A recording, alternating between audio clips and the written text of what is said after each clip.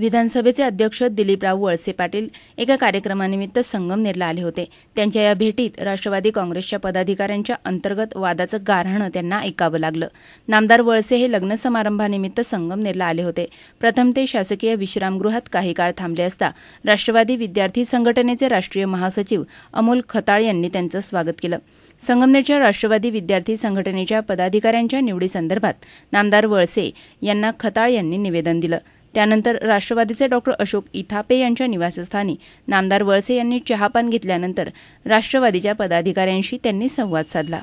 संगमनेरच्या भेटीत नामदार वळसे यांनी महसूल मंत्री बाळासाहेब थोरात यांच्या कार्याचंही कौतुक केलं. सी मूव्हीज अँड न्यूजसाठी कॅमेरामन सुखदेव गाडेकर संगमनेर.